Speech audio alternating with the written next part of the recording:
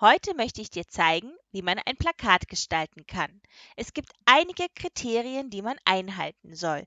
Am Ende entscheidest aber du, wie dein Plakat aussehen soll. Zuerst möchte ich aber noch einmal nennen, was du bereits erledigt haben solltest. Das Thema sollte feststehen und Informationen solltest du auch bereits herausgesucht haben. Aus den Informationen solltest du eine Mindmap oder Ideensammlung erstellen, sodass du deine ganzen Informationen ein bisschen strukturiert und geordnet hast. Anhand der Mindmap kannst du dann die Unterthemen festlegen und du solltest bereits Bildmaterial zu deinem Thema ausgedruckt haben. Hier zeige ich dir eine Beispiel-Mindmap. Diese habe ich genutzt, um ein Plakat zu erstellen. In die Mitte habe ich das Thema geschrieben. Quokka Känguruart. Um das Thema in der Mitte herum habe ich dann wichtige Unterthemen in weitere Kreise geschrieben, beispielsweise Lebensweise, Nahrung, Merkmale, Verbreitung und Lebensraum und Besonderheiten und Lebensweisen. Anschließend habe ich überlegt, was weiß ich denn eigentlich schon zu den Unterthemen und habe die Sachen schon mal aufgeschrieben. Natürlich gab es eine Menge Sachen, die ich noch nicht über das Quokka wusste. Die fehlenden Informationen konnte ich mir aber ganz einfach aus den Sachtexten heraussuchen, die ich mir zuvor aus dem Internet ausgedruckt hatte oder in einem Tierlexikon nachgesehen hatte. Wenn du nun all diese Sachen erledigt hast, können wir damit anfangen, ein Plakat zu gestalten.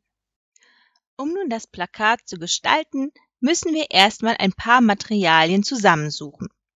Als erstes benötigen wir natürlich unsere zusammengesuchten Informationen, die wir in einer Mindmap festgehalten haben. Als nächstes benötigen wir die Bilder, die wir herausgesucht haben. Dann brauchen wir auf jeden Fall einen Bleistift und ein Lineal, um eventuell Sachen vorzuzeichnen und gerade Linien zu ziehen. Weißes Papier oder andersfarbiges Papier äh, wird Filzstifte oder Buntstifte jeweils in dunklen Farben benötigen wir auch noch. Es ist wichtig, dass du dunklere Farben benutzt, da man die auch noch aus der Ferne auf dem Plakat gut sehen kann.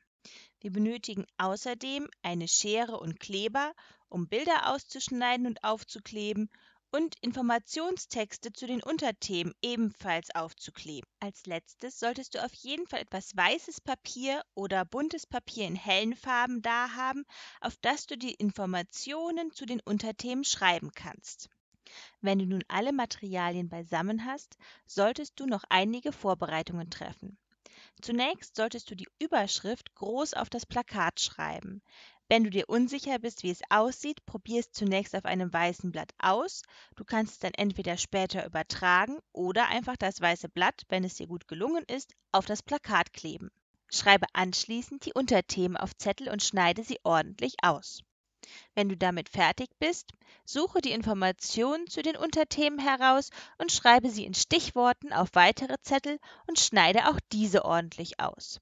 Wichtig, überprüfe auf Rechtschreibung. Wenn du damit fertig bist, sortiere noch die Bilder zu den Unterthemen und passenden Informationen dazu. Nun können wir endlich anfangen, das Plakat richtig zu gestalten. Ich habe dir als Beispiel einmal eins von meinen Plakaten mitgebracht. Ganz wichtig, für mein Plakat habe ich alle Inhalte vorgeschrieben auf dem Computer und dann ausgedruckt. Du musst das aber nicht machen. Du kannst ordentlich in Druckschrift schreiben. Wenn du natürlich die Möglichkeit hast und Lust darauf hast, das am Computer zu machen, probier es ruhig aus. Fangen wir nun doch einmal an, uns das Plakat genauer anzusehen. Das Thema habe ich ganz groß oben in die Mitte geschrieben. Die einzelnen Unterthemen habe ich mit den passenden Informationen zusammen auf mein Plakat geklebt. Passende Bilder habe ich ebenfalls dazu geordnet.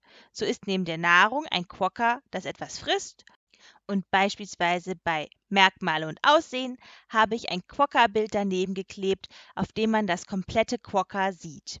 Bei Verbreitung und Lebensraum habe ich eine Landkarte neben die Informationen geklebt, auf der eingezeichnet ist, wo das Quokka lebt. Wie du die einzelnen Themen anordnest, das kannst du selbst entscheiden. Eine der wichtigsten Sachen ist, dass du das Plakat übersichtlich gestaltest. Das heißt, schreibe wirklich ordentlich, wenn du mit der Hand schreibst. Packe nicht zu viele Bilder auf das Plakat, das kann es schnell unordentlich wirken lassen. Schreibe nicht zu viele Informationen auf das Plakat, denn es sollen wirklich nur Stichworte darauf, die kurz und knapp informieren. Ich hoffe, dass dir das Video geholfen hat, besser zu verstehen, wie man ein Plakat gestalten kann. Ich wünsche dir einen tollen Tag und ich hoffe, wir sehen uns bald wieder. Bis dann!